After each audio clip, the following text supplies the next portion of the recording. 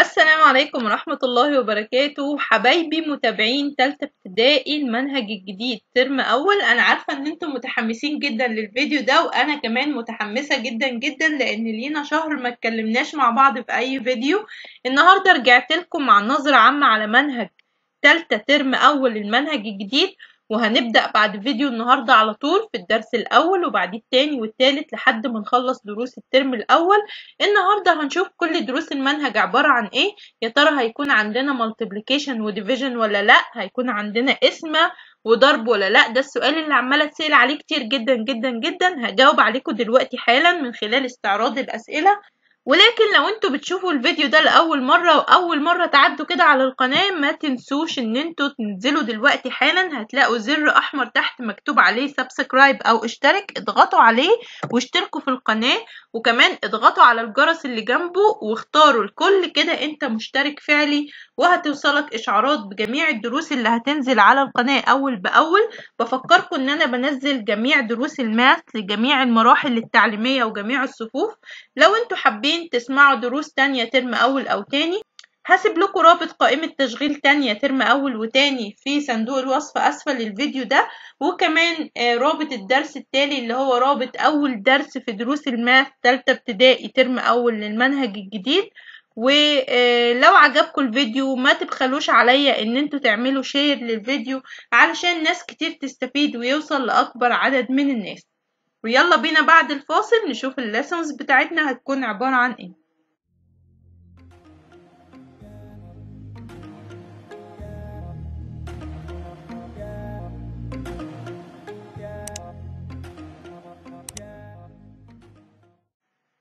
بالنسبة للي يهمهم أكتر تقسيمة الشابترز هتكون إزاي؟ هما teachers. طبعا كل الناس على القناة منوريني سواء كانوا teachers لسه لأول مرة بيدرسوا محتوى الماث ومتابعين معايا أو كانوا حتى أولياء أمور أو طلاب بيستفيدوا.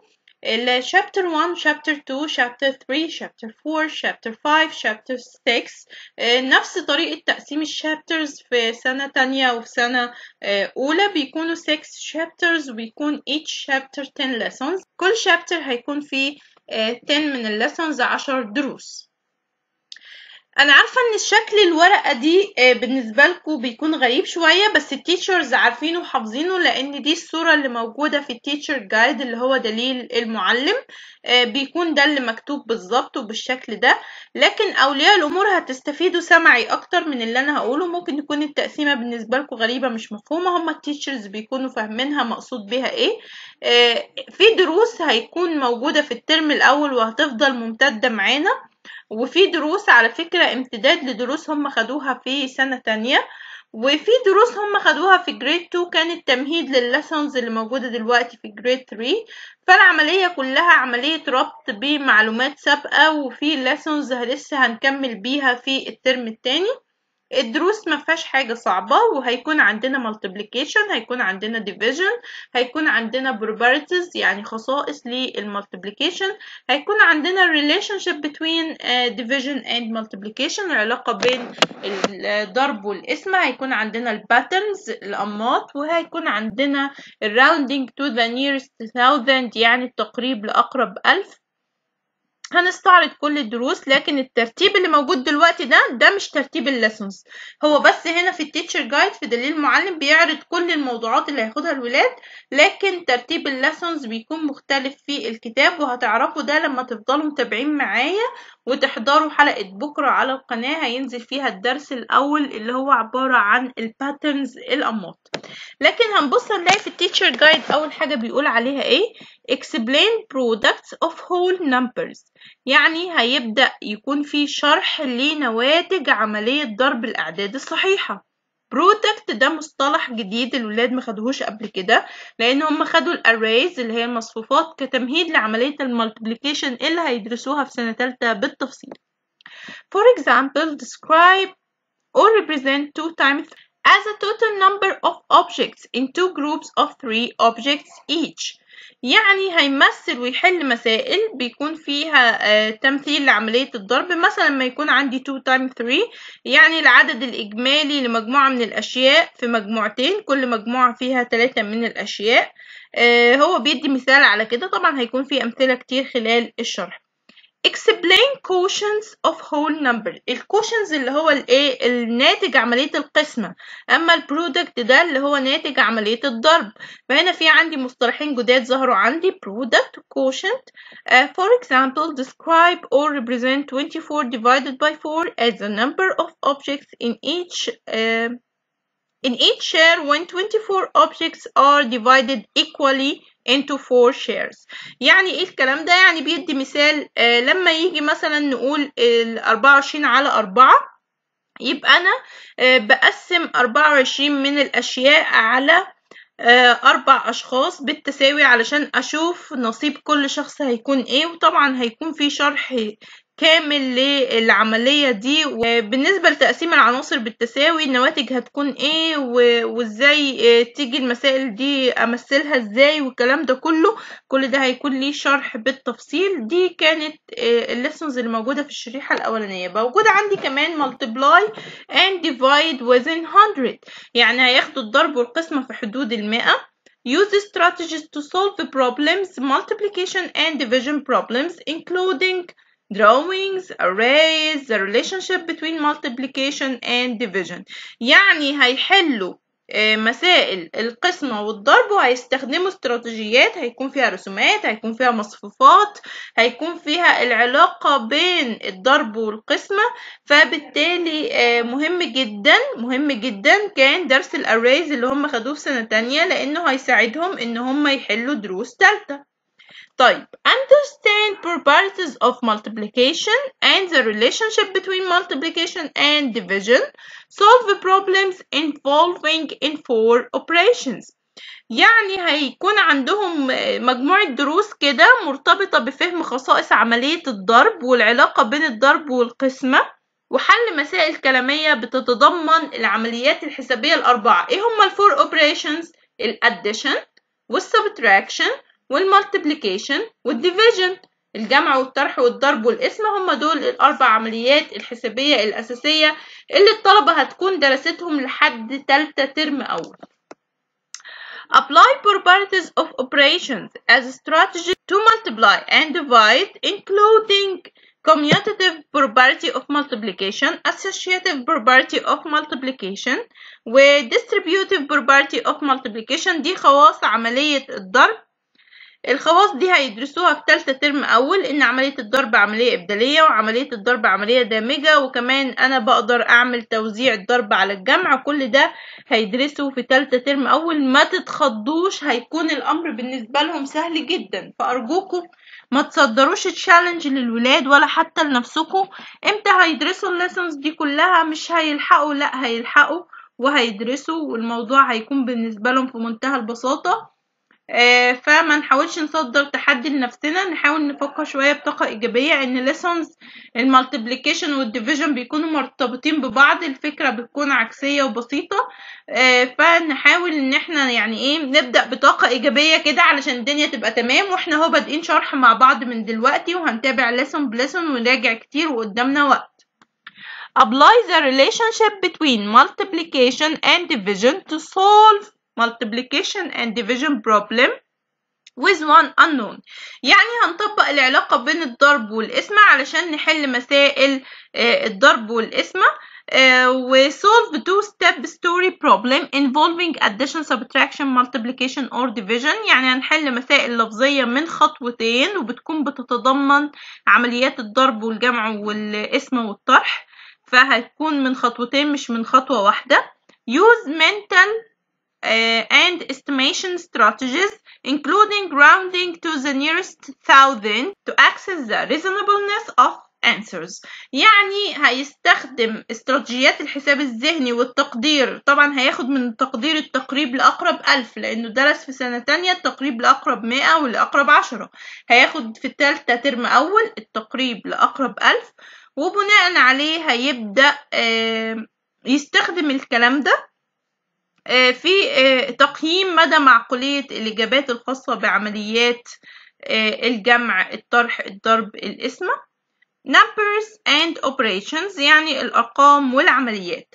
Work with numbers to gain foundations for place value يعني قراءة وكتابة الأعداد والقيمة المكانية read and write numbers uh, to 100,000 using numerals and expanded form يعني هيبدأ يقرأ ويكتب الأعداد في حدود المائة ألف وهيستخدم في ده الصيغة الرقمية والصيغة الممتدة و order a set of up to 5 numbers with value up to 100,000 from least to greatest or, or greatest to least هيرتب مجموعة من الأعداد الأعداد اللي هي مكونة من خمس أرقام.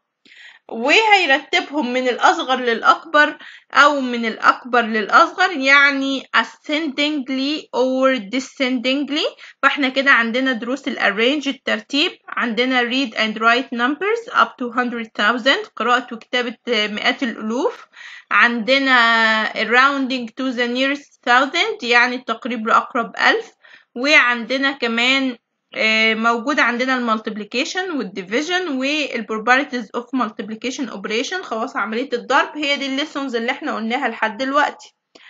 Identify arithmetic patterns including those in addition and multiplication fact families. على فكرة هو ده أول lesson هيكون موجود عندنا درس ال patterns يعني مش شرط التسلسل اللي هو عارض بيه الدروس هو ده التسلسل هيدرسوا بيه لا خالص. هو أول درس موجود عندهم في الترم هو ال patterns فهو هنا بيقول إحنا هنستخدم ال patterns وهيكون من ضمن مسائل الأنماط مسائل بتتضمن حقائق عملية الجمع وعملية الضرب.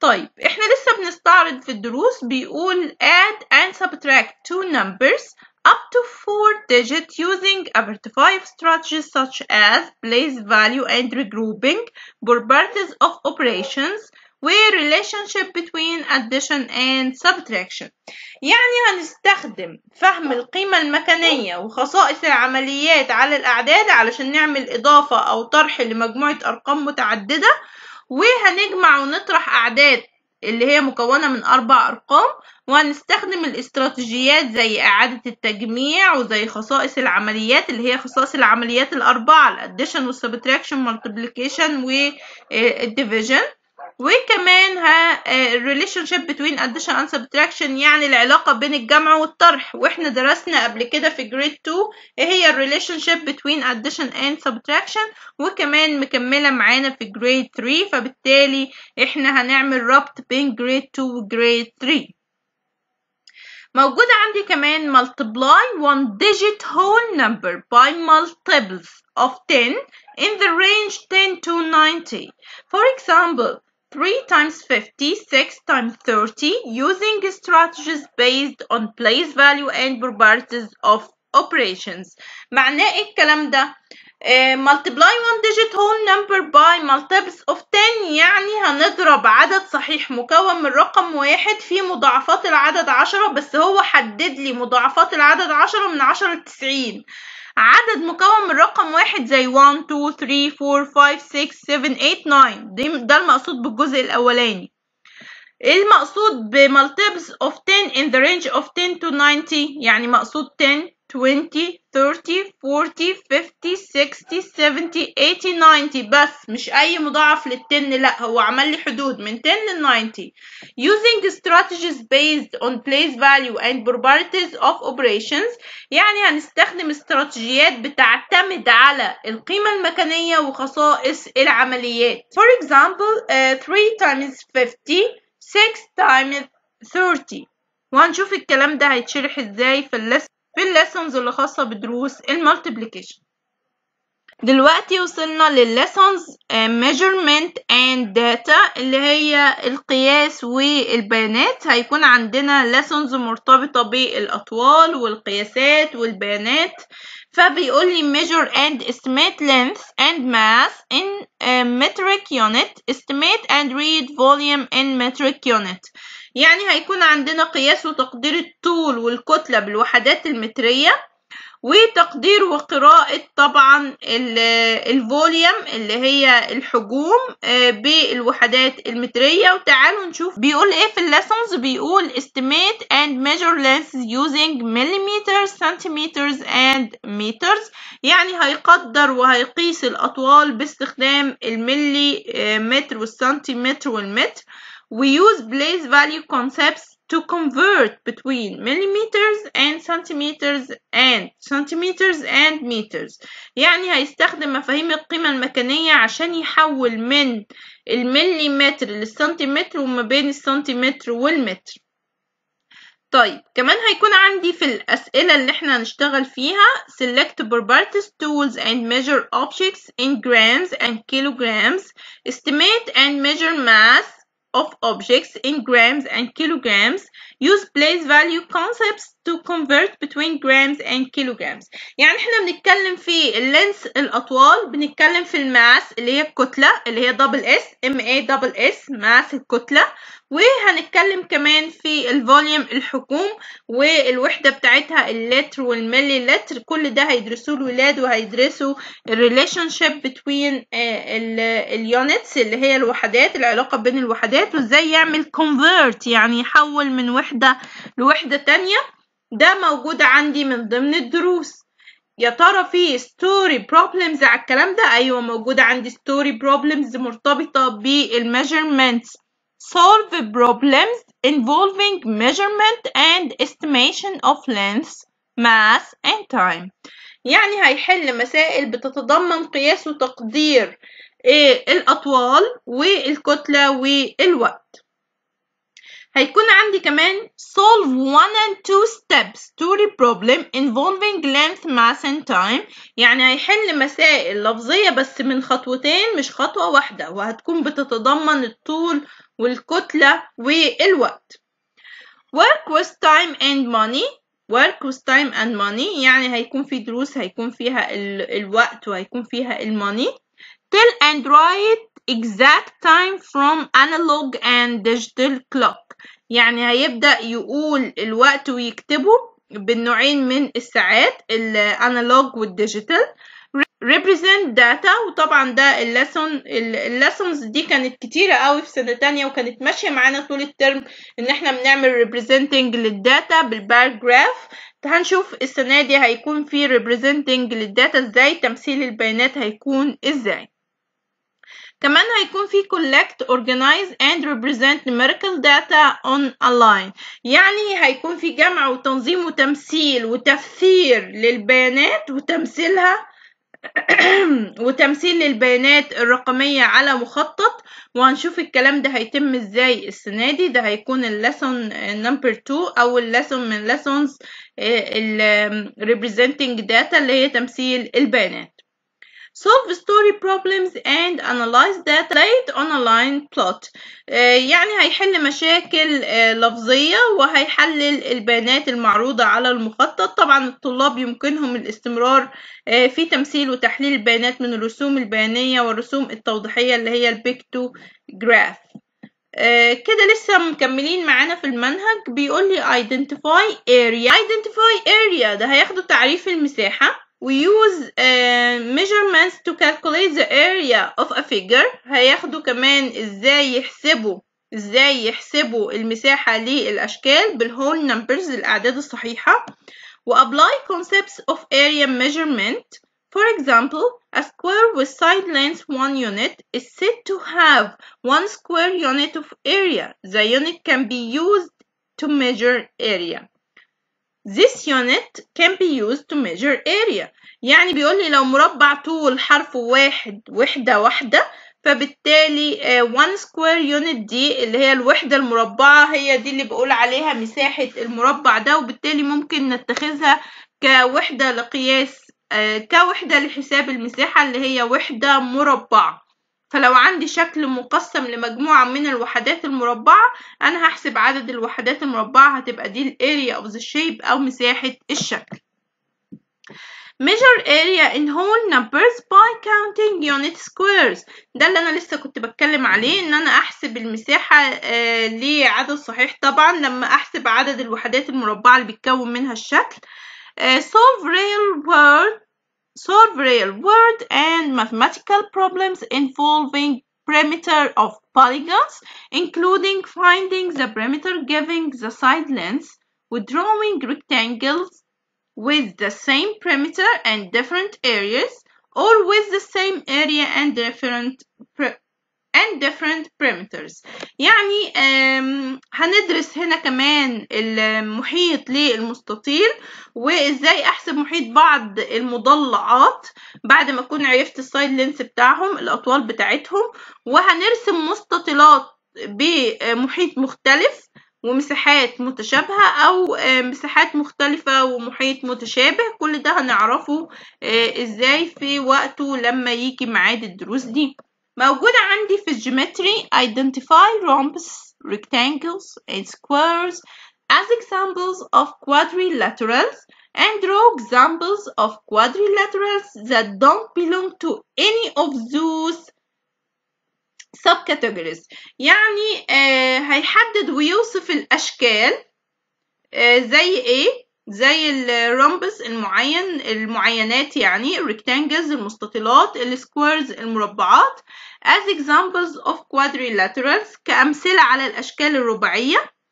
And draw examples وهيرسم أشكال رباعية بس ما بتكونش ليها علاقة بالفئات اللي فاتت دي اللي إحنا اتكلمنا عنها. Uh, partition shapes into parts with equal area express the area of each part as a unit fraction of the whole يعني هيقسم الأشكال لأجزاء بمساحات متساوية خدوا بالكم من كلمة equal areas بمساحات متساوية ليه؟ الاريا of each part as a unit fraction of the whole علشان يدخل جزئية الفراكشن الكسر بقى يعني كل مساحة لجزء هتعبر عن كسر لأن هي قسمت إلى مساحات متساوية ناخد example على كده for example uh, partition the shape into four parts with equal area and describe the area of each part as fourth of the area of the shape or quarter of the area of the shape يعني باختصار شديد لو أنا عندي شكل وقسمت الشكل ده لأربع مساحات متساوية أربع مساحات متساوية يعني أربع أجزاء متساوية فبالتالي كل جزء بيمثل ربع مساحة الشكل. كل جزء بيمثل ربع مساحة الشكل لأن أنا عندي مساحة الشكل كامل اتقسم لأربع أجزاء بالتساوي كل جزء منهم هيمثل لي ربع مساحة الشكل. ده كان الجزء الخاص بال geometry. يبقى لو تفتكروا معايا من أول ما بدأنا نستعرض الدروس في عندنا ال patterns في عندنا ال data express data أو represent data في عندي organized data الأنماط يعني وبعد كده البيانات وتمثيلها وتفسيرها.